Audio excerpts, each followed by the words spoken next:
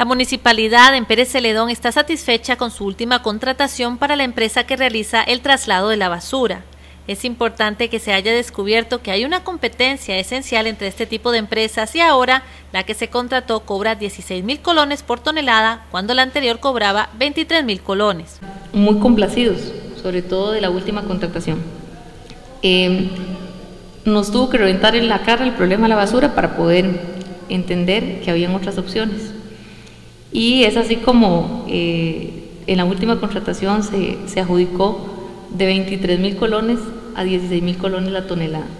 O sea, significa que el mercado que se ha generado a nivel de las municipalidades con las empresas que reciben la basura, pues tiene una competencia importante. Esto significa un ahorro del presupuesto de 7 mil colones, lo cual es significativo, pues podría ser destinado para otros asuntos. Vera Corrales, alcaldesa de Pérez Celedón, recalca la importancia de esta contratación y sus beneficios. Probablemente esperamos que la próxima contratación que se haga no sea por 16, sea por menos cantidad de, no 16 mil, sino menos cantidad, lo cual beneficia a la municipalidad.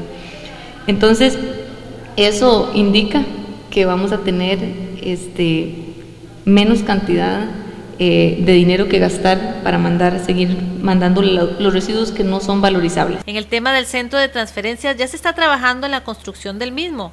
Ahora se están realizando los estudios hidrológicos correspondientes. Este, el tema del centro de transferencia es un tema bastante importante. El Consejo Municipal ha brindado los acuerdos, ha brindado los recursos y estamos trabajando en la construcción de ese centro.